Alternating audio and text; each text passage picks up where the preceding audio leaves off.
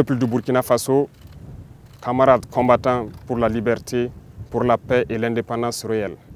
C'est un plaisir pour moi et un honneur de m'adresser à vous en ce jour mémorable, marquant donc le 63e anniversaire de la proclamation de l'indépendance de notre chère patrie, le Burkina Faso. Mais avant tout propos, permettez-moi de rendre grâce à Dieu Tout-Puissant qui nous a permis aujourd'hui de pouvoir nous tenir ici et nous adresser à la nation entière. Permettez-moi également de rendre donc un hommage à tous ces combattants qui bravent vents et marées et qui nous permettent de survivre. Permettez-moi de rendre un hommage à tous ceux qui ont perdu la vie dans ce combat. Tous ceux qui sont aujourd'hui sur les lits d'hôpitaux et qui cherchent à recouvrir la santé, nous prions Dieu qu'il leur accorde meilleure santé. Et que ceux, les êtres chers que nous avons perdus, nous prions Dieu également que la terre libre du Burkina Faso leur soit légère. Camarades, permettez-moi une fois de plus de rendre hommage à tous ces fils et filles du Burkina Faso restés à l'arrière, qui ne ménagent aucun effort pour permettre à ceux qui sont au front de pouvoir se battre. Tous ceux qui contribuent à l'effort de guerre, tous ceux qui sont engagés, qui prient jour et nuit pour que la paix puisse revenir au Burkina Faso.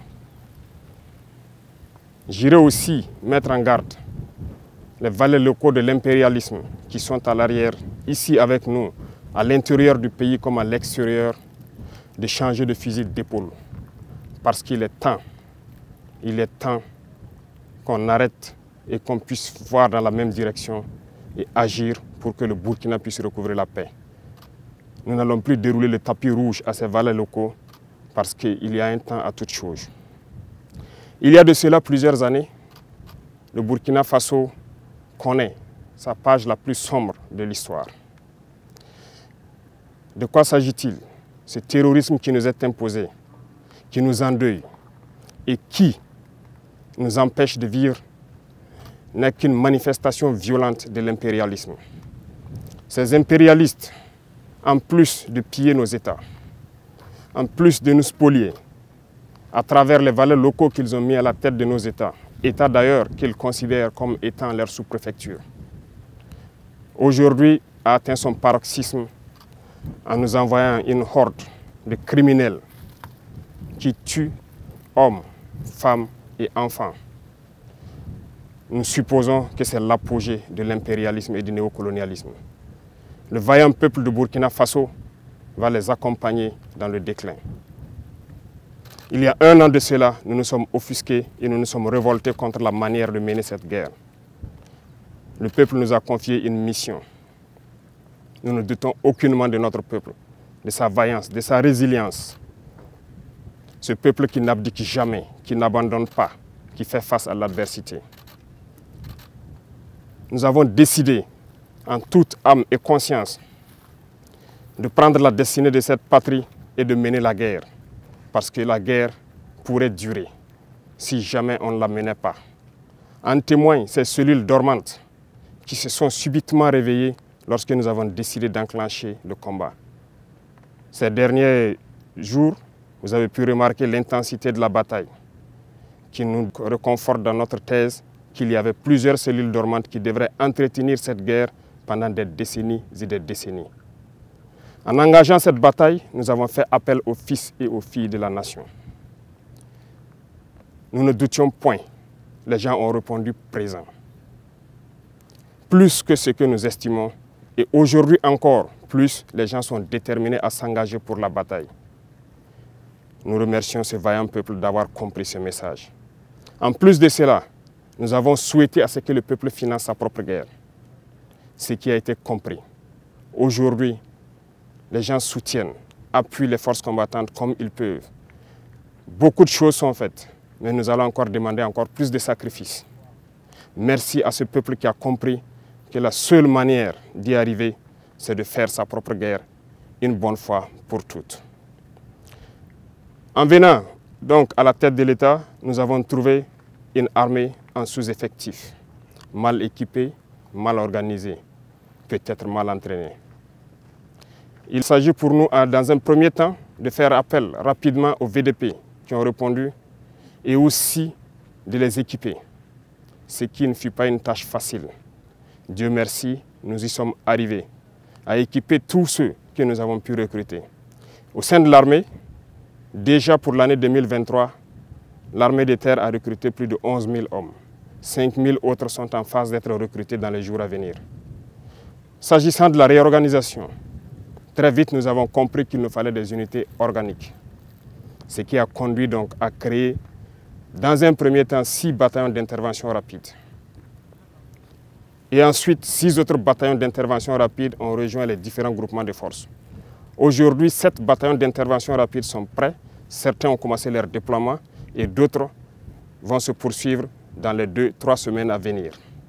Cinq autres bataillons sont en constitution et en formation pour renforcer les rangs de ce bataillon d'intervention rapide. Deux bataillons d'intervention aéroportée ont été créés. Un est déployé dans la zone de Boromo, l'autre sera déployé dans les jours à venir dans la zone de Koudougou.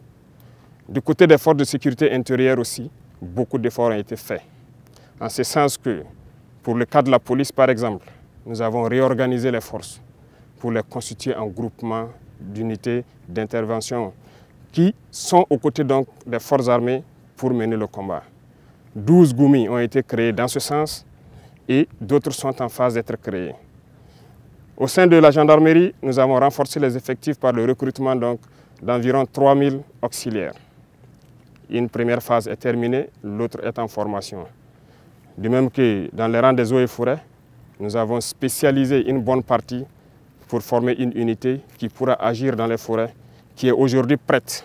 Et cette unité est en train de s'engager également. Toutes les autres forces de sécurité intérieure ont pu être dotées en équipements tels qu'ils n'en ont jamais connu de leur histoire. Mais ce n'est que le début, parce que nous continuerons à les équiper et à monter en puissance. Du côté de l'armée de l'air, il a fallu à un moment donné revoir donc notre potentiel aérien. Aujourd'hui, nous pouvons dire fièrement que le Burkina Faso est doté d'appareils de dernière génération qui nous permettent de scruter donc euh, notre territoire à partir des cieux, ce qui nous permet d'engranger un certain nombre de résultats. Les terroristes peuvent aujourd'hui se déplacer d'un point A à un point B, peut-être mener des attaques, mais ne repartiront pas sains et saufs parce que nous les suivons, nous les traquons jusque dans leur dernière demeure. Il est encore temps pour ceux-là qui ont été trompés, qui se sont engagés dans cette bataille, de déposer les armes. Parce que viendra un moment où il ne sera plus possible de déposer les armes. Tous ces bataillons qui sont en train de se déployer, du matériel est encore en cours de route dans les deux, trois semaines à venir. Et lorsque tout cela sera réuni et que tous ces bataillons auront rejoint leur emplacement, cette phase de développement de la guerre tant attendue, les choses sérieuses pourront commencer. Je lance encore un appel à ces égarés qu'il est encore temps de déposer les armes. Parce que viendra un moment, on le répète encore, il ne sera plus possible. Le Burkina Faso a décidé de se battre et nous nous battrons jusqu'à la victoire finale. Pour l'équipement, nous avons fait beaucoup d'efforts avec donc la compréhension de ce peuple qui a accepté de se sacrifier.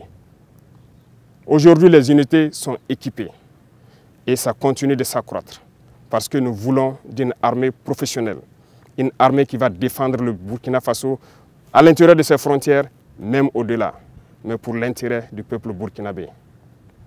Les efforts continuent et nous allons continuer à renforcer les rangs pour que plus jamais ces situations sombres que nous avons connues ne puissent survenir à l'avenir avec nos enfants, nos petits-enfants.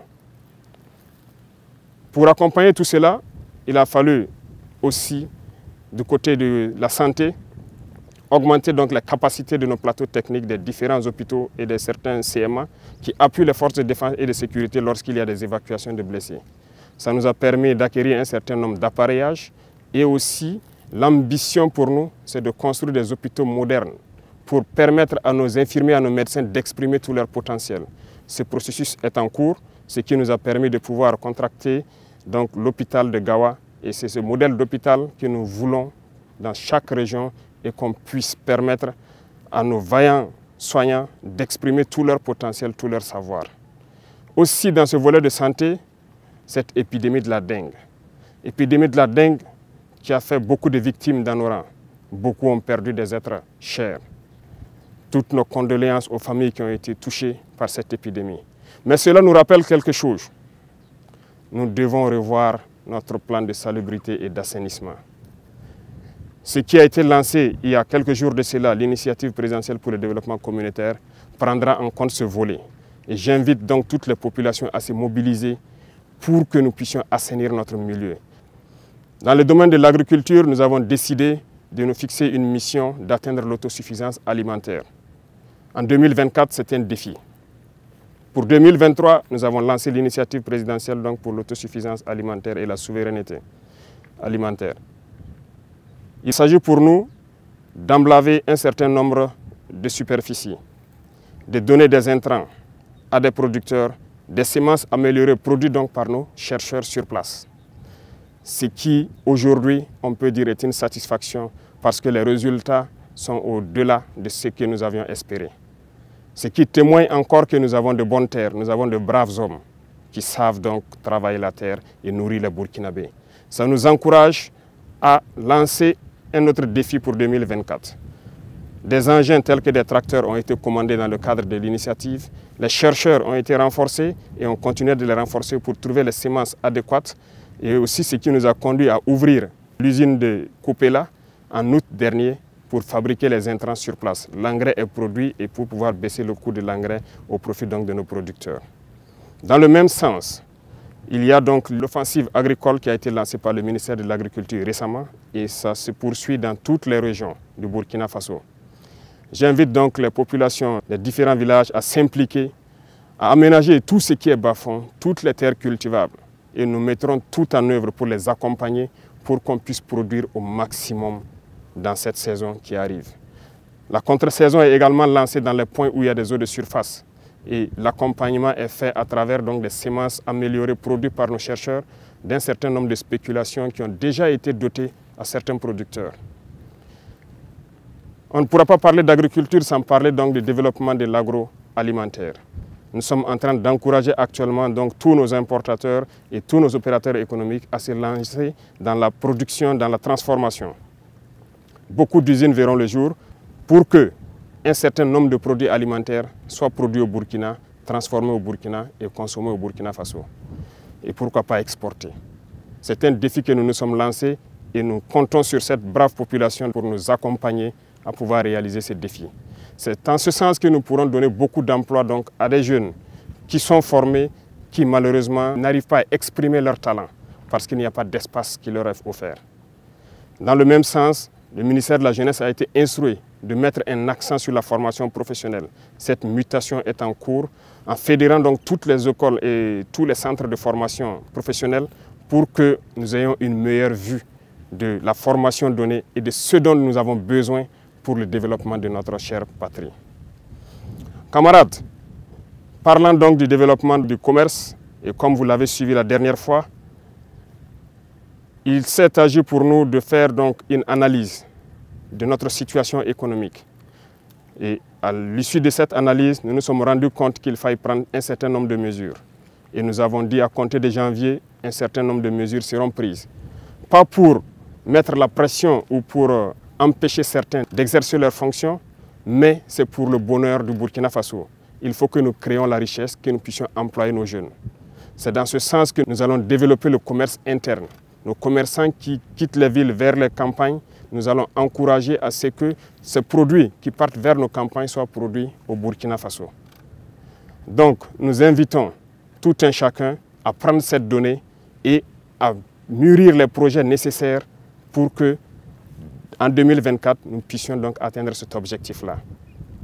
Sur le volet donc de la coopération, un bon nombre de partenaires ont refusé de nous accompagner de nous aider à acquérir le minimum d'équipements. Jusqu'au jour d'aujourd'hui, certains équipements dont nous avons payé des avances auprès de certains pays qui sont favorables à nous les livrer, les licences ont été bloquées par d'autres États impérialistes qui n'ont aucun intérêt à ce que nous puissions évoluer dans notre guerre.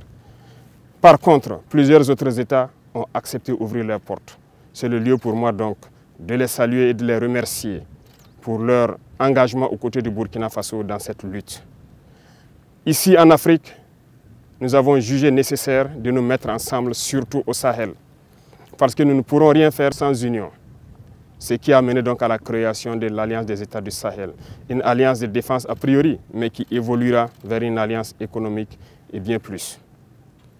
L'AES est un espace qui est aujourd'hui victime de terrorisme barbare, violent. Mais aujourd'hui, nous avons compris et les peuples ont compris qu'il faille s'unir. Et nous invitons tous les autres Africains, tous ces peuples brimés, à pouvoir s'unir pour faire face à l'adversité. Nous défendrons l'espace de l'AES comme si nous défendons nos propres terres ici. Parce que nous avons décidé de nous unir avec nos pays frères du Mali, du Niger, pour en faire de nos espaces un seul espace. Aller et venir, commercer et défendre, ramener la paix, la prospérité, la sécurité. Parce que nos peuples ont droit au bonheur. L'Eldorado dont nos peuples rêvent, nous pouvons le créer ici. Et nous avons confiance en ce peuple. M'adressant donc aux travailleurs qui ont déjà consenti beaucoup d'efforts pour le Burkina Faso, je vais encore vous demander plus d'efforts en 2024. Il y aura certaines mesures qui seront prises pour encore accentuer sur la contribution à l'effort de guerre.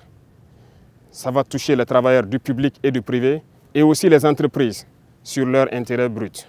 Le taux sera fixé, mais cela doit nous permettre de pouvoir augmenter premièrement la prime de nos vaillants VDP d'au moins 35% et aussi de les assurer une certaine assurance vie, de sorte que lorsqu'ils sont blessés ou lorsqu'ils tombent au champ d'honneur, que la prise en charge soit meilleure que ce que nous connaissons. Donc, il y aura plus de sacrifices qui doivent être consentis à l'endroit de ces vaillantes populations qui ont accepté de répondre et qui se battent jour et nuit sur le terrain. C'est le lieu pour moi de les rendre encore hommage pour leur contribution, pour leur accompagnement donc des différentes forces sur le terrain.